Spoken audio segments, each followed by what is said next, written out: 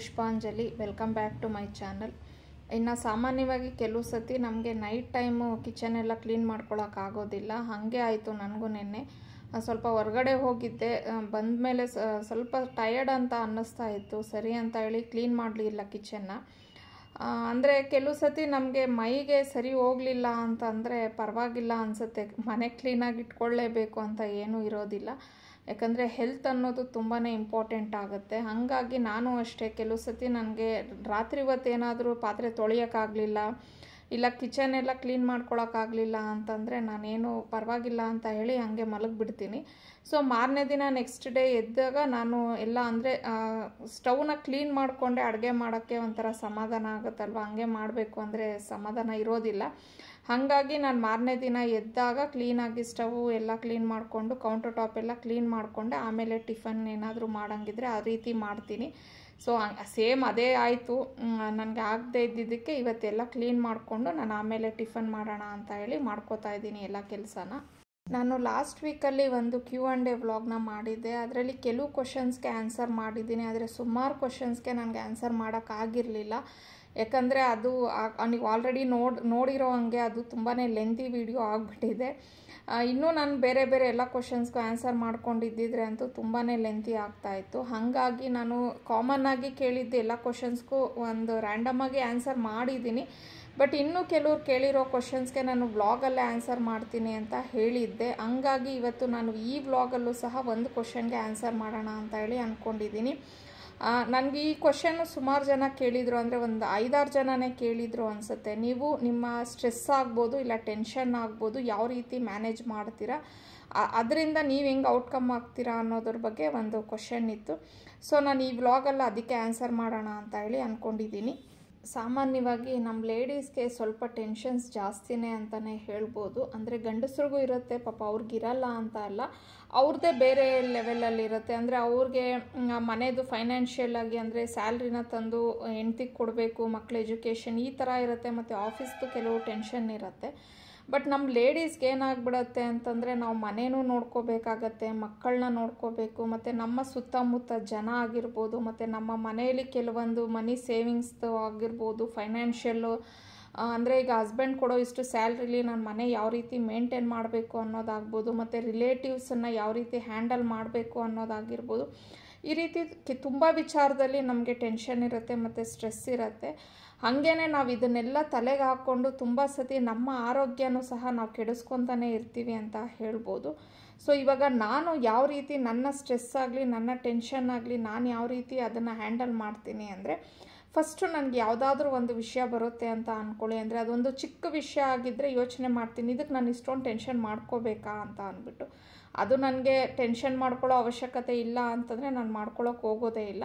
ಆದರೆ ಒಂದು ವೇಳೆ ಅದು ಸ್ವಲ್ಪ ದೊಡ್ಡದಾಗಿ ಬಂದಿದೆ, ಯಾವುದಾದ್ರೂ ಪ್ರಾಬ್ಲಮ್ ಅಂತ ಅಂದಾಗ ನಾನು ಫಸ್ಟ್ ಯೋಚನೆ ಮಾಡೋದು ಇದರಿಂದ ನಾನು ಯಾವ ರೀತಿ ಹೊರಗೆ ಬರಬೇಕು, ಮತ್ತು ಯಾವ ರೀತಿ ನನ್ನ ಫ್ಯಾಮಿಲಿನಾಗಲಿ ನನ್ನ ಮಕ್ಕಳನ್ನಾಗಲಿ ನಾನು ಹೊರಗೆ ತರಬೇಕು ಅನ್ನೋದು ಯೋಚನೆ ಮಾಡ್ತಿರ್ತೀನಿ. ಅಂದರೆ ಆ ವಿಷಯ ಅಷ್ಟೊಂದು ದೊಡ್ಡದಾಗಿದೆಯಾ? ನಾನು ಅಷ್ಟೊಂದು ಟೆನ್ಷನ್ ಮಾಡ್ಕೊಳ್ಳೋಕ್ಕೆ ಆ ವಿಷಯಕ್ಕೆ ನಾನು ಅಷ್ಟೊಂದು ಪ್ರಾಮುಖ್ಯತೆ ಕೊಡಬೇಕಾ ಅನ್ನೋದನ್ನು ನಾನು ಫಸ್ಟ್ ಯೋಚನೆ ಮಾಡ್ತೀನಿ. ಇನ್ನು ಇವತ್ತು ಟಿಫನ್ಗೆ ನಾನು ಪಲಾವ್ ಮಾಡೋಣ ಅಂತ ಹೇಳಿ ಅಂದ್ಕೊಂಡು ಮಾಡ್ತಿದ್ದೆ. ಅಷ್ಟೊತ್ತಿಗೆ ಮಕ್ಕಳಿಬ್ಬರಿಗೂ ರಜಾ ಇತ್ತು ಇವತ್ತು. ಅಂದರೆ ಹನಿಗೆ ಆಲ್ರೆಡಿ ಎಕ್ಸಾಮ್ ಸ್ಟಾರ್ಟ್ ಆಗಿದೆ. ಸೊ ಒಂದಿನ ಬಿಟ್ಟು ಒಂದಿನ ಅವಳಿಗೆ ಕಾಲೇಜ್ಗೆ ಹೋಗೋದಿರುತ್ತೆ ಅಷ್ಟೇ. ಇನ್ನು ಪಾವನಿಗೆ ಈ ಮಂತ್ ಎಂಡಿಂಗಲ್ಲಿ ಅಂದರೆ ಟ್ವೆಂಟಿ ಫಸ್ಟ್ಗೆ ಬೋರ್ಡ್ ಎಕ್ಸಾಮ್ ಇರೋದ್ರಿಂದ ಅವಳಿಗೆ ಸ್ಟಡಿ ಹಾಲಿಡೇಸ್ ಕೊಟ್ಟಿದ್ದಾರೆ. ಸೊ ಅವಳು ಮನೇಲಿದ್ಲಲ್ವ ಇಬ್ಬರು ಮನೇಲಿದ್ದರೆ one hour one and half hour ಬಂದು ನನಗೆ ಸ್ವಲ್ಪ ಮನೆ ಕೆಲಸದಲ್ಲಿ ಹೆಲ್ಪ್ ಮಾಡ್ತಾರೆ. ನಾನೇನು ಹೇಳಬೇಕು ಅಂತ ಏನಿಲ್ಲ, ಅವ್ರ ಪಾಡ್ಗೆ ಅವ್ರು ಬಂದು ಹೆಲ್ಪ್ ಮಾಡ್ತಿರ್ತಾರೆ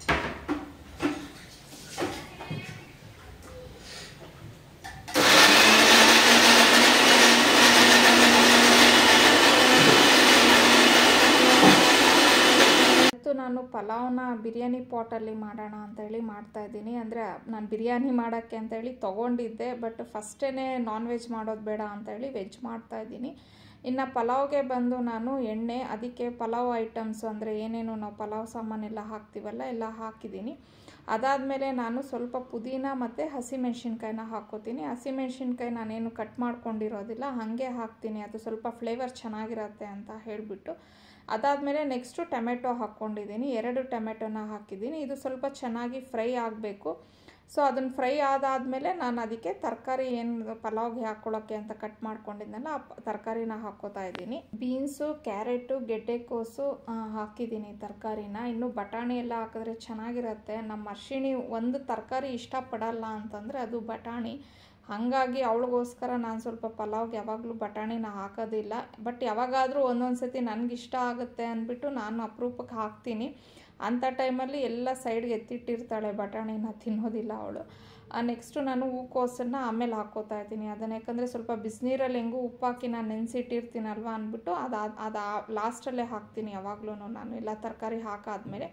ಇನ್ನು ಈ ತರಕಾರಿಗೆಲ್ಲ ರುಚಿಗೆ ಎಷ್ಟು, ಅಂದರೆ ಅದಕ್ಕೂ ಉಪ್ಪು ಹಿಡಿಬೇಕಲ್ವಾ? ಸೊ ಹಂಗಾಗಿ ಅದಕ್ಕೆ ಎಷ್ಟು ಬೇಕೋ ತರಕಾರಿಗೆ ಅಷ್ಟು ಉಪ್ಪನ್ನು ಹಾಕಿ ನಾನು ಚೆನ್ನಾಗಿ ಇನ್ನು ಮಿಕ್ಸಿಗೆ ನಾನು ಬೆಳ್ಳುಳ್ಳಿ, ಶುಂಠಿ, ಹಸಿಮೆಣಸಿನ್ಕಾಯಿ, ಈರುಳ್ಳಿ, ಹಾಗೆ ಚಕ್ಕೆ ಲವಂಗ ಮತ್ತು ಸ್ವಲ್ಪ ಕೊತ್ತಂಬರಿ ಸೊಪ್ಪು ಇಷ್ಟನ್ನು ಹಾಕಿ ಪೇಸ್ಟ್ ಮಾಡ್ಕೋಬೇಕು. ಅಂದರೆ ನಾನು ನೈಸಾಗಿ ಪೇಸ್ಟ್ ಮಾಡ್ಕೊಳ್ಳಲ್ಲ, ತರಿ ತರಿಯಾಗಿ ಮಾಡ್ಕೋತೀನಿ.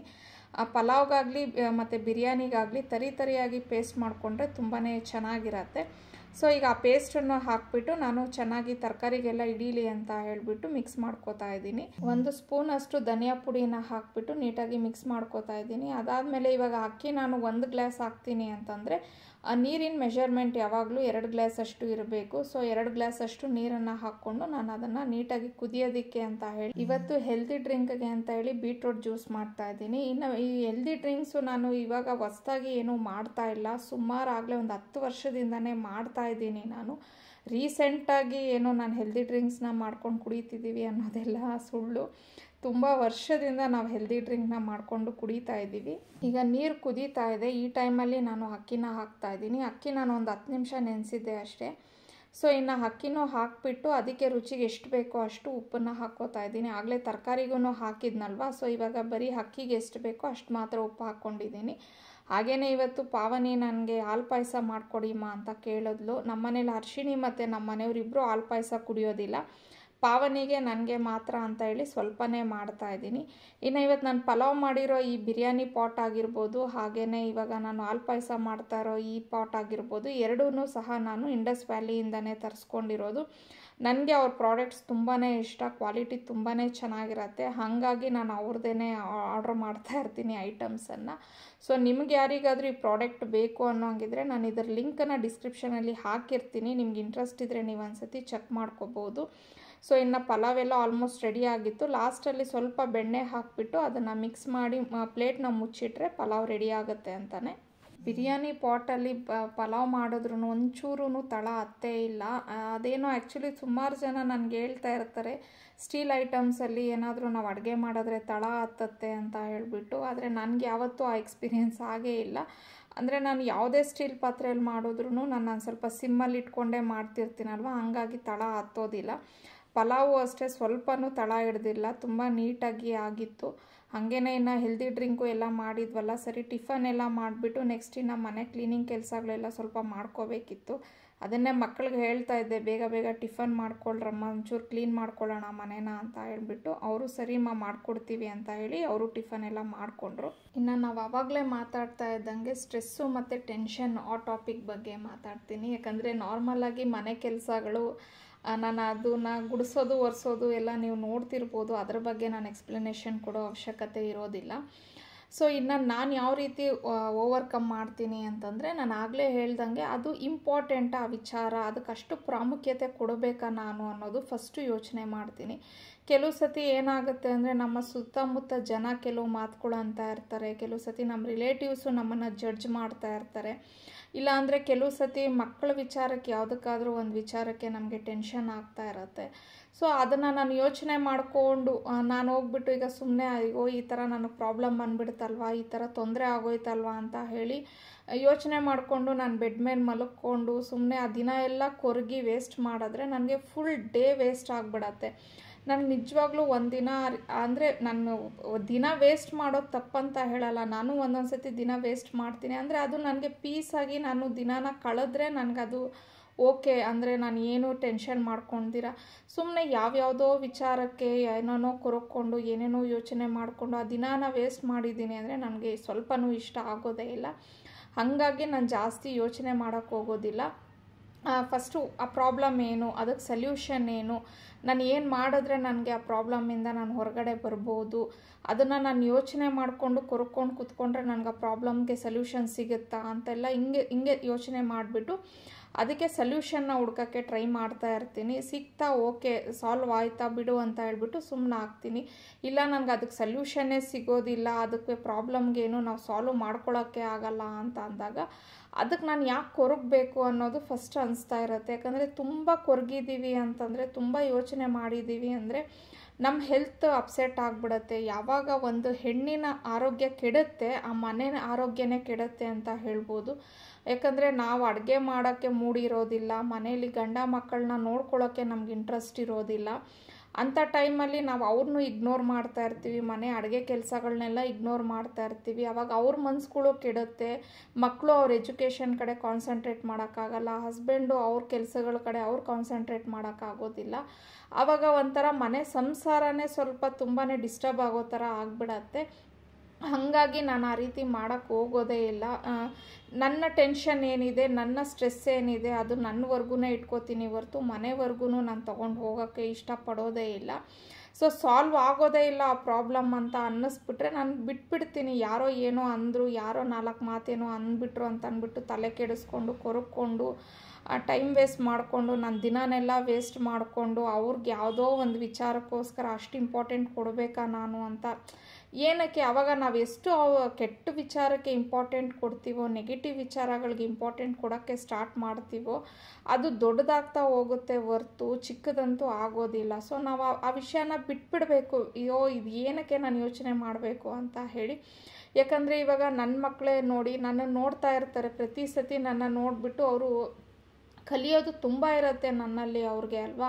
ಸೊ ನಾನು ಅವ್ರಿಗೆ ಆದಷ್ಟು ಒಳ್ಳೆ ವಿಚಾರಗಳನ್ನ ಕಲಿಸೋಕ್ಕೆ ಪ್ರಯತ್ನ ಪಡ್ತಾ ಇರಬೇಕು. ಈಗ ನಾನು ಹೋಗ್ಬಿಟ್ಟು ಬೆಡ್ ಮೇಲೆ ಕೊರ್ಕೊಂಡು ಮಲಗಿದ್ದೀನಿ ಅಂತಂದರೆ ಅವ್ರಿಗೇನು ಅನಿಸುತ್ತೆ, ಓ, ಇವಾಗ ನಾವು ನೀಟಾಗಿ ಓದಿಲ್ಲ ಎಕ್ಸಾಮ್ ನೀಟಾಗಿ ಬರ್ದಿಲ್ಲ ಅಂದರೆ ಅಮ್ಮ ಮಲ್ಕೊಂಡಂಗೆ ನಾನು ಹೋಗಿ ಬೆಡ್ ಮೇಲೆ ಮಲ್ಕೊಂಬಿಡೋಣ ಅನ್ನೋ ಥರ ಅವ್ರ ಥಾಟ್ ಬರುತ್ತೆ.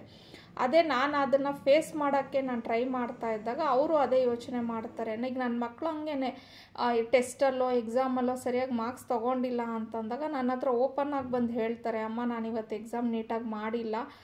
ಸಾರಿ ಅಮ್ಮ, ಆದರೆ ನೆಕ್ಸ್ಟ್ ಎಕ್ಸಾಮು ನಾನು ತುಂಬ ಕರೆಕ್ಟಾಗಿ ಮಾಡ್ತೀನಿ. ನಾನೀಗೇನು ಮಿಸ್ಟೇಕ್ ಮಾಡಿದ್ದೀನಿ, ಅದನ್ನೆಲ್ಲ ಕರೆಕ್ಷನ್ ಮಾಡಿಕೊಂಡು ನೆಕ್ಸ್ಟ್ ಎಕ್ಸಾಮಲ್ಲಿ ನಾನು ನೀಟಾಗಿ ಬರೀತೀನಿ ಅಂತ ಅಂದ್ಬಿಟ್ಟು ಎಷ್ಟು ಕಾನ್ಫಿಡೆಂಟಾಗಿ ಬಂದು ನನಗೆ ಹೇಳ್ತಾರೆ, ಏನಕ್ಕೆ ಹೇಳ್ತಾರೆ ಅಂತಂದರೆ ನಾನು ಅದೇ ರೀತಿ ಬಿಹೇವ್ ಮಾಡ್ತಾ ಇರ್ತೀನಿ, ಕೊರಕೊಂಡು ಒಂದು ಕಡೆ ಮೂಲೆಯಲ್ಲಿ ಕೂತ್ಕೊಳ್ಳೋದಾಗಲಿ, ಒಂದು ಕಡೆ ಬೆಡ್ ಮೇಲೆ ಹೋಗಿ ಮಲ್ಕೊಳ್ಳೋದಾಗಲಿ ಇಲ್ಲ ಸಪ್ಪಗೆ ಮುಖ ಇಟ್ಕೊಂಡಿರೋದಾಗಲಿ ಈ ಥರ ಎಲ್ಲ ನಾನು ಮಾಡೋದಿಲ್ಲ.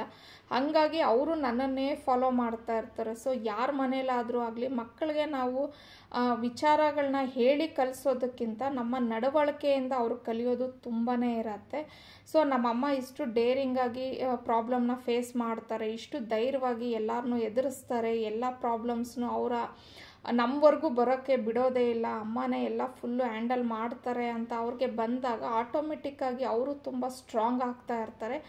ಅವರು ನೆಕ್ಸ್ಟು ಅವ್ರಿಗೆ, ಅಂದರೆ ಅವ್ರ ಲೆವೆಲ್ಗೆ ಬರೋವಂಥ ಪ್ರಾಬ್ಲಮ್ಸ್ನ ಅವರು ನೀಟಾಗಿ ಅದನ್ನು ಫೇಸ್ ಮಾಡ್ಕೊಂಡು ಹೋಗ್ತಾ ಇರ್ತಾರೆ. ಸೊ ಇದನ್ನೇ ನಾನು ಸಾಧ್ಯವಾದಷ್ಟು ನಾನು ನನ್ನ ಸ್ಟ್ರೆಸ್ ಆಗಲಿ ಟೆನ್ಷನ್ ಆಗಲಿ ಮನೆವರೆಗೂ ಬಿಡೋದಿಲ್ಲ. ಮತ್ತು ಆದಷ್ಟು ಕೊರಗೋದನ್ನು ನಾನು ನಿಜವಾಗ್ಲೂ ನನಗೆ ಕೊರಗೋದಕ್ಕೆ ಸ್ವಲ್ಪನೂ ಇಷ್ಟ ಆಗೋದಿಲ್ಲ. ಯಾಕಂದರೆ ನಾನು ಯೋಚನೆ ಮಾಡ್ತಾ ಇರ್ತೀನಿ ಕೊರಗ್ಕೊಂಡು ಕೂತ್ಕೊಂಡ್ರೆ ನನ್ನ ಆರೋಗ್ಯ ಎಲ್ಲ ಕೆಡುತ್ತಪ್ಪ ಎಲ್ಲಿ ನನಗೆ ಕೂದಲೆಲ್ಲ ಏರ್ ಫಾಲ್ ಆಗಿಬಿಡತ್ತೋ, ಎಲ್ಲಿ ಸ್ಕಿನ್ನೆಲ್ಲ ಸ್ವಲ್ಪ ಪ್ರಾಬ್ಲಮ್ ಆಗುತ್ತೋ. ಅಂದರೆ ಈ ರೀತಿ ನಮ್ಮ ಬಗ್ಗೆ ನಾವು ಯೋಚನೆ ಮಾಡ್ತಿದ್ದಾಗ ಏನಾಗುತ್ತೆ ಅಂತಂದರೆ ನಾವು ಆದಷ್ಟು ಅಂಥ ವಿಷಯ ವಿಷಯ, ಅಂದರೆ ಅನ್ವಾಂಟೆಡ್ ವಿಚಾರಕ್ಕೆ ನಾವು ಜಾಸ್ತಿ ತಲೆ ಕೆಡಿಸ್ಕೊಳ್ಳೋ ಅವಶ್ಯಕತೆ ಇರೋದಿಲ್ಲ. ಇನ್ನು ಪ್ರಾಬ್ಲಮ್ಸ್ ಅನ್ನೋದು ಪ್ರತಿಯೊಬ್ಬರ ಲೈಫಲ್ಲೂ ಇದ್ದೇ ಇರುತ್ತೆ. ಅಂದರೆ ಒಬ್ಬೊಬ್ಬರಿಗೆ ಅವ್ರವ್ರ ಲೆವೆಲ್ಗೆ ಕೆಲವ್ರಿಗೆ ಅದು ಚಿಕ್ಕದಾಗಿರತ್ತೆ, ಕೆಲವ್ರಿಗೆ ಅದು ದೊಡ್ಡದಾಗಿರುತ್ತೆ.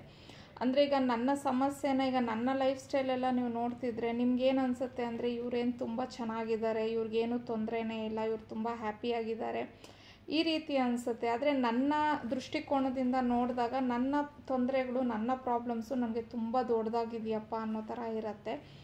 ಸೊ ಹಾಗೇನೆ ಮನುಷ್ಯರು ಅಂತ ಅಂದಮೇಲೆ ಕಷ್ಟ, ಸುಖ ಅನ್ನೋದು ಕಾ, ಸರ್ವೇ ಸಾಮಾನ್ಯ ಎಲ್ಲರ ಜೀವನದಲ್ಲೂ ಬಂದೇ ಬರುತ್ತೆ, ಕಷ್ಟ ಬರುತ್ತೆ, ಸುಖ ಬರುತ್ತೆ. ಅದೊಂಥರ ನೀರಿನ ಮೇಲೆ ಗುಳ್ಳೆ ಥರ ಕಷ್ಟ ಅನ್ನೋದು ಇವತ್ತಿರುತ್ತೆ ನಾಳೆ ಹೋಗ್ಬಿಡತ್ತೆ. ಅದನ್ನೇ ಕೊರಕೊಂಡು ನಾವು ಕುತ್ಕೊಂಡು ನಮ್ಮ ಜೀವನನ ನಾವು ಸಾಗ್ಸೋಕ್ಕಾಗೋದಿಲ್ಲ ಅಂದರೆ ನಮಗೆ ಬರೋ ಪ್ರಾಬ್ಲಮ್ಸ್ಗೆ ನಾವು ಸೊಲ್ಯೂಷನ್ ಅನ್ನೋದು ಹುಡ್ಕೊತ ಹೋಗಬೇಕಾಗತ್ತೆ. ನನಗೆ ಗೊತ್ತಿರೋ ಪ್ರಕಾರ ಪ್ರತಿಯೊಂದು ಪ್ರಾಬ್ಲಮ್ಗೂ ಸೊಲ್ಯೂಷನ್ ಅನ್ನೋದು ಇದ್ದೇ ಇರುತ್ತೆ. ಅಂದರೆ ದೇವರು ನಮಗೆ ಕಷ್ಟ ಕೊಟ್ಟಿದ್ದಾನೆ ಅಂತಂದರೆ ಆ ಕಷ್ಟದಿಂದ ಏನೋ ಒಂದು ರೀಸನ್ ಇದ್ದೇ ಇರುತ್ತೆ. ಯಾಕೆ ಕೊಟ್ಟಿದ್ದಾನೆ ಆ ಕಷ್ಟ? ಅಂದರೆ ನಾವು ಅದನ್ನು ಅನುಭವಿಸಿ ಅದರಿಂದ ಯಾವುದಾದ್ರೂ ಒಂದು ಪಾಠ ಕಲಿಬೇಕು ಅನ್ನೋದಿರುತ್ತೆ. ಸೊ ನಾವು ಫಸ್ಟು ಆ ಕಷ್ಟನ ಅನುಭವಿಸಿ ಅದರಿಂದ ಪಾಠ ಕಲಿತು ಮುಂದೆ ನಾವೇನು ತಪ್ಪುಗಳನ್ನ ಮಾಡಿರ್ತೀವಲ್ವ, ಆ ತಪ್ಪುಗಳ್ನ ಸರಿ ಮಾಡಿಕೊಂಡು ಮುಂದೆ ಜೀವನನ ಸರಿಯಾಗಿ ದಾರೀಲಿ ತೊಗೊಂಡು ಹೋಗಬೇಕಾಗತ್ತೆ. ಯಾವಾಗ ನಾವು ಆ ಕಷ್ಟಗಳು ಬರುತ್ತೆ, ಆ ಕಷ್ಟನ ನನ್ನ ಕೈಲಿ ತಡ್ಕೊಳ್ಳೋಕ್ಕೆ ಇಲ್ಲ ಅಂತ ಹೇಳಿ ಯಾವುದೋ ಒಂದು ರಾಂಗ್ ಸ್ಟೆಪ್ಪನ್ನು ತೊಗೊಂಡು, ಕೆಲವು ಹೆಣ್ಮಕ್ಳು ತುಂಬಾ ದುಡುಕ್ಬಿಡ್ತಾರೆ ಬೇಗನೆ ರಾಂಗ್ ಸ್ಟೆಪ್ನ ತೊಗೊಂಡ್ಬಿಡ್ತಾರೆ, ಇಲ್ಲ ಅಂತಂದರೆ ಅವರ ಫ್ಯಾಮಿಲಿನ ಡಿಸ್ಟರ್ಬ್ ಮಾಡ್ಕೊಳ್ಳೋದಾಗ್ಬೋದು. ಅವರು ಡಿಸ್ಟರ್ಬ್ ಆಗ್ತಾ ಇರ್ತಾರೆ ಪ್ಲಸ್ ಅವ್ರ ಫ್ಯಾಮಿಲಿನೂ ಡಿಸ್ಟರ್ಬ್ ಆಗ್ತಾನೇ ಇರತ್ತೆ.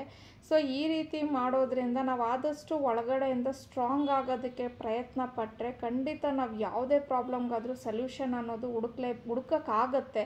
ಮತ್ತು ಇವಾಗ ಏನಾದರೂ ಒಂದು ಸ್ಮಾಲ್ ಇನ್ಸಿಡೆನ್ಸ್ ಆಯಿತು ಕೆಲವ್ರ ಮನೇಲಿ, ಅಂದರೆ ನಾನು ಕೆಲವು ಸತಿ ನಾನು ಸರೌಂಡಿಂಗ್ನಲ್ಲಿ ಕೇಳ್ತಾ ಇರ್ತೀನಿ. ಚಿಕ್ಕ ಚಿಕ್ಕ ವಿಷಯಕ್ಕೇ ತುಂಬ ದೊಡ್ಡದಾಗಿ ಅದನ್ನು ಮಾಡ್ಕೋತಾ ಇರ್ತಾರೆ. ಅಂದರೆ ಯಾರಿಗೂ ಬರದೇ ಇರೋ ಕಷ್ಟ ನನಗೆ ಬಂದುಬಿಟ್ಟಿದೆ. ಪ್ರಪಂಚದಲ್ಲಿರೋವಂಥ ಎಲ್ಲ ತೊಂದರೆ ನನ್ನ ತಲೆ ಮೇಲೇ ಇದೆ. ಎಲ್ಲರ ಭಾರ ನಾನೇ ಹೊರ್ತಾ ಇದ್ದೀನಿ ಅನ್ನೋ ಥರ ಬಿಹೇವ್ ಮಾಡ್ತಾ ಇರ್ತಾರೆ. ಅದು ಆ ಥರ ಅಲ್ಲ. ನಿಮ್ಗೆ ಹೆಂಗೆ ಕಷ್ಟ ಇರುತ್ತೋ ನನಗೂ ಹಂಗೆ ಕಷ್ಟ ಇರುತ್ತೆ. ಇನ್ನೊಬ್ರಿಗೂ ಇನ್ನೊಂದು ಥರ ಬೇರೆ ಥರ ಕಷ್ಟ ಇರುತ್ತೆ. ಪ್ರತಿಯೊಬ್ಬರಿಗೂ ಅವ್ರವ್ರದ್ದೇ ಆದ ಕಷ್ಟಗಳು ಖಂಡಿತ ಇರುತ್ತೆ. ಸೊ ನಾವು ನಮ್ಮ ಕಷ್ಟನೇ ದೊಡ್ಡದು, ಬೇರೆಯವ್ರ ಕಷ್ಟ ಏನು ಕಷ್ಟನೇ ಅಲ್ಲ ಅಂತ ಅಂದ್ಕೊಳಕ್ಕೆ ಹೋಗಬಾರ್ದು. ಸೊ ನಮ್ಗೆ ಇವಾಗ ತೊಂದರೆ ಬಂದಿದೆ. ಈ ತೊಂದರೆನ ನಾನು ಯಾವ ರೀತಿ ಸಾಲ್ವ್ ಮಾಡ್ಕೋಬೇಕು? ನನ್ನ ಅಪ್ಪ ಅಮ್ಮನಿಗಾಗಲಿ, ನನ್ನ ಗಂಡ ಮಕ್ಕಳಿಗಾಗಲಿ, ಇದರಿಂದ ನಾನು ಅವ್ರಿಗೆ ಪ್ರಾಬ್ಲಮ್ ಕ್ರಿಯೇಟ್ ಮಾಡೋಕ್ಕೆ ಹೋಗಬಾರ್ದು. ಸೊ ಇದನ್ನು ಧೈರ್ಯವಾಗಿ ನಾನು ಫೇಸ್ ಮಾಡಬೇಕು ಅಂತ ಹೇಳಿಬಿಟ್ಟು ನಾವು ಯಾವಾಗ ಸ್ಟ್ರಾಂಗಾಗಿ ಇನ್ನರ್ ನಮ್ಮ ಒಳಗಡೆಯಿಂದ ನಾವು ಸ್ಟ್ರಾಂಗ್ ಆಗೋಕ್ಕೆ ಟ್ರೈ ಮಾಡ್ತಿರ್ತೀವಿ. ಆ ಕಷ್ಟಗಳು ಸಹ ನಮ್ಮನ್ನು ನೋಡಿ ಕೆಲವು ಸತಿ ಎದುರ್ಕೊಂಡು ಹೊರಟೋಗುತ್ತೆ ಅಂತಲೇ ಹೇಳ್ಬೋದು. ಸೊ ನನ್ನ ಜೀವನದಲ್ಲಿ ನಾನು ಯಾವಾಗಲೂ ಇದನ್ನೇ ಮಾಡ್ತಾ ಇರ್ತೀನಿ. ನೀನು ನನ್ನನ್ನು ಎಷ್ಟು ಎದುರಿಸ್ತೀಯೋ, ನಾನು ನಿನಗೆ ಅಷ್ಟೇ ಧೈರ್ಯವಾಗಿ ನಿನ್ನ ಮುಂದೆ ನಿಂತ್ಕೊತೀನಿ ಅಂತ ಹೇಳಿಬಿಟ್ಟು ನಾನು ನನ್ನ, ನನಗೆ ಬರೋ ಪ್ರಾಬ್ಲಮ್ಸ್ಗೆ ನಾನು ಈ ರೀತಿ ಹೇಳ್ತಾ ಇರ್ತೀನಿ. ನೀನು ಅದೆಷ್ಟು ಪ್ರಾಬ್ಲಮ್ ಬರ್ತೀಯ, ಬಾ, ಬರ್ತಾನೆ ಇರು ನೀನು. ನಾನು ನಿನ್ನನ್ನು ಧೈರ್ಯವಾಗಿ ಎದುರಿಸ್ತಾನೆ ಇರ್ತೀನಿ ಅನ್ನೋ ಅನ್ನೋ ಥರ ನಾನು ಇರ್ತೀನಿ. ಮೇ ಬಿ ಅದಕ್ಕೋ ಏನೋ ಗೊತ್ತಿಲ್ಲ. ನಾನು ನನಗೆ ಬರೋ ಸ್ಟ್ರೆಸ್ ಆಗಲಿ, ಟೆನ್ಷನ್ ಆಗಲಿ ತುಂಬ ಧೈರ್ಯವಾಗೇ ನಾನು ಫೇಸ್ ಮಾಡ್ತಾ ಇರ್ತೀನಿ. ಯಾಕಂದರೆ ನಾವು ಅಷ್ಟು ಧೈರ್ಯವಾಗಿ ಫೇಸ್ ಮಾಡ್ತಾ ಇದ್ದಾಗ ನಮ್ಮನ್ನು ನೋಡ್ಕೊಂಡಿರುವಂಥ ಸುತ್ತಮುತ್ತ ಜನಕ್ಕೆ ನಾವು ತುಂಬ ಪೀಸ್ಫುಲ್ ಲೈಫ್ನ ಲೈಫ್ನ ಸಾರಿ ಲೈಫ್ನ ಕೊಡ್ಬೋದು. ಹಂಗಾಗ್ಬಿಟ್ಟೆ ನಾನು ಅದನ್ನು ಯಾವಾಗಲೂ ಅನ್ಕೋತೀನಿ, ಏನು ಟೆನ್ಷನ್ ಮಾಡ್ಕೋಬೇಕು ಏನಕ್ಕೆ ಸ್ಟ್ರೆಸ್ ಮಾಡ್ಕೋಬೇಕು, ಇದೆಲ್ಲ ಒಂದು ಚಿಕ್ಕ ವಿಷಯ. ಸೊ ನಾವು ಯಾವಾಗ ನಮಗೆ ತುಂಬ ದೊಡ್ಡದಾಗಿರುವಂಥ ವಿಚಾರ ಅನ್ನೋದು ತುಂಬ ಚಿಕ್ಕ ವಿಷಯ, ತುಂಬ ಚಿಕ್ಕ ವಿಷಯ ಅಂತ ಅಂದ್ಕೊಳ್ಳೋಕ್ಕೆ ಸ್ಟಾರ್ಟ್ ಮಾಡ್ತೀವೋ, ಅದು ನಮ್ಮ ಕಣ್ಣಿಗೆ ತುಂಬ ಚಿಕ್ಕದಾಗೆ ಕಾಣುತ್ತೆ ಅಂತಲೇ ಹೇಳ್ಬೋದು. ನಾನು ನಿಮಗೆ ಹೇಳ್ದಂಗೆ ಮುಂಚೆ ಕೆಲಸಕ್ಕೆ ಹೋಗ್ತಿದ್ದೆ ಅಂತ ಹೇಳಿದ್ನಲ್ವ? ಆವಾಗ ನನಗೂ ಹಂಗೆ ಆಗ್ತಾಯಿತ್ತು ಅಂದರೆ ಅಲ್ಲಿ ಕೆಲಸದಲ್ಲೂ ಫುಲ್ಲು ಸ್ವಲ್ಪ ಟೆನ್ಷನ್ ಮಾಡ್ಕೊಂಬಿಟ್ಟು ಅದನ್ನೆಲ್ಲ ತೊಗೊಂಡು ಬರ್ತಾಯಿದ್ದೆ ಮನೆಗೆ. ಮತ್ತು ಮನೆಯಲ್ಲೂ ಕೆಲಸಗಳು ಮಾಡೋದಾಗ್ಬೋದು, ಮತ್ತು ಅವಾಗ ಮಕ್ಕಳು ಸ್ವಲ್ಪ ಚಿಕ್ಕವರಿದ್ರಲ್ವ ಸೊ ಅವ್ರನ್ನ ಸ್ಕೂಲಿಂದ ಒಂದು ಸ್ವಲ್ಪ ಅಂದರೆ ಬಸ್ ಸ್ಟಾಪಿಂದ ಕರ್ಕೊಂಡು ಬರುವಾಗೆಲ್ಲ ಸ್ವಲ್ಪ ಲೇಟ್ ಆಗೋದಾಗ್ಬೋದು, ಮತ್ತು ನೈಟ್ ಅಡುಗೆ ಮಾಡೋದು ಇವೆಲ್ಲನೂ ಕೆಲವು ಸತಿ ತಲೆಗೆ ಹಾಕ್ಕೊಂಬಿಟ್ಟು ನಾನು ತುಂಬಾ ಯೋಚನೆ ಮಾಡ್ತಾ ಇದ್ದೆ. ಅಂದರೆ ಫುಲ್ಲು ಒಂಥರ ಕೋಪ ಮಾಡ್ಕೊಂಬಿಡೋದು ಫುಲ್ಲು ಒಂಥರ ಮಕ್ಕಳ ಮೇಲೆ ಅದನ್ನೆಲ್ಲ ಬಿಡೋದಾಗ್ಬೋದು, ಮತ್ತು ಮನೆಯವ್ರ ಮೇಲೆ ಬಿಡೋದಾಗ್ಬೋದು. ಆವಾಗ ನನಗೆ ನಮ್ಮ ಮನೆಯವರು ಹೇಳ್ತಾಯಿದ್ರು ನಿನ್ನ ಕೈಲಿ ಹ್ಯಾಂಡಲ್ ಮಾಡೋಕ್ಕಾಗ್ತಿಲ್ಲ ಅಂತ ಅಂದಾಗ, ನೀನು ಏನಕ್ಕೆ ಹೋಗಬೇಕು? ಬಿಟ್ಬಿಡು ಮನೇಲಿರು ರೆಸ್ಟ್ ಮಾಡು ನಿನಗೇನು ಮನೇಲಿ ಕೆಲಸನೂ ಮಾಡೋಕ್ಕಾಗಲ್ವ ಆಯಿತು ಬಿಡು, ನಾನು ಹೌಸ್ ಹೆಲ್ಪ್ ಇಡ್ತೀನಿ. ನೀನು ಆರಾಮಾಗಿ ರೆಸ್ಟ್ ಮಾಡ್ಕೊಂಡಿರು. ನಿನ್ನ ನಿನ್ನ ಪಾಡಿಗೆ ನೀನು ಇರಮ್ಮ ತಾಯಿ. ನನಗೆ ನೀನು ನಿನ್ನ ಟೆನ್ಷನ್ ಎಲ್ಲ ತೊಗೊಂಡು ಬಂದು ನನ್ನ ತಲೆ ಮೇಲೆ ಹಾಕ್ಬೇಡ ಅಂತ ಹೇಳೋರು. ಆವಾಗ ನಾನು ಯೋಚನೆ ಮಾಡೋಕ್ಕೆ ಸ್ಟಾರ್ಟ್ ಮಾಡಿದೆ, ಏನಿದು ನಾನು ಈ ಥರ ಮಾಡ್ತಾ ಇದ್ದೀನ?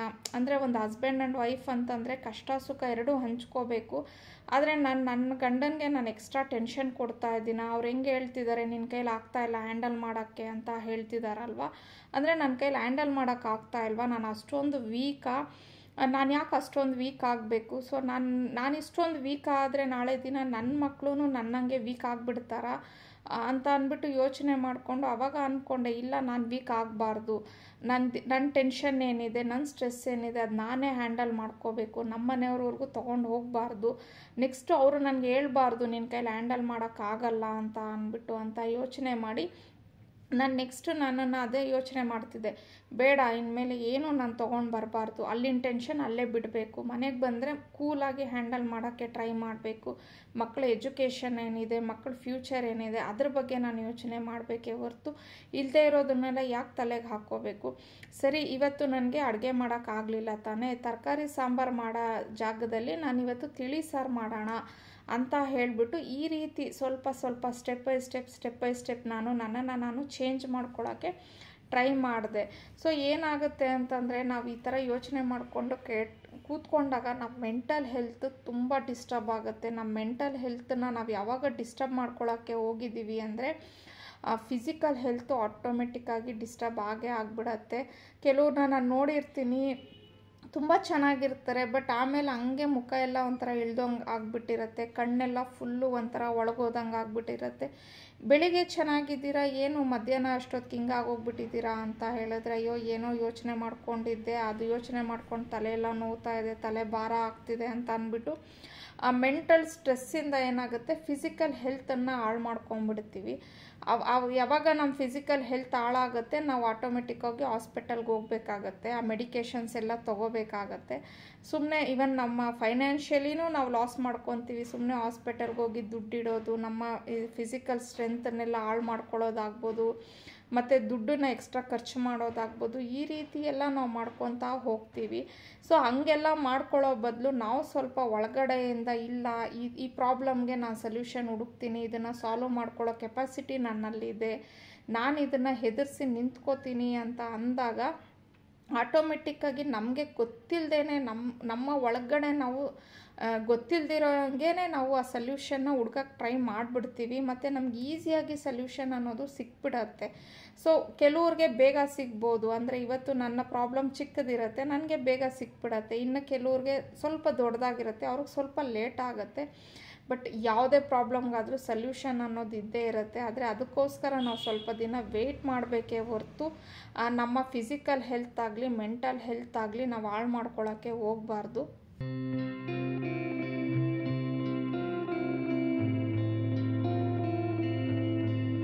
ಇನ್ನು ನಮ್ಮ ಮನೆಯವ್ರಿಗೆ ಅವರಿಬ್ಬರು ಹೆಣ್ಮಕ್ಳನ್ನ ಯಾವಾಗಲೂ ಟೀಸ್ ಮಾಡೋದಾಗಲಿ ಮತ್ತು ತಮಾಷೆ ಮಾಡೋದಾಗಲಿ ತುಂಬಾ ಇಷ್ಟ. ಅಂದರೆ ಅವ್ರಿಗೆ ಯಾವಾಗಲೂ ಅವ್ರ ಮಕ್ಕಳು ನಗ್ತಾನೆ ಇರಬೇಕು.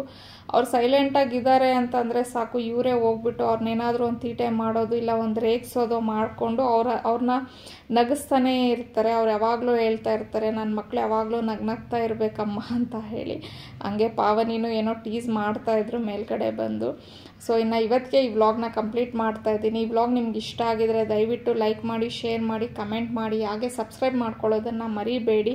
ತುಂಬ ಜಾಸ್ತಿ ಮಾತಾಡಿದ್ದೀನಿ ಅಂತ ನಿಮ್ಗೇನಾದರೂ ಅನಿಸಿದರೆ ದಯವಿಟ್ಟು ಕ್ಷಮೆ ಇರಲಿ. See in the next vlog bye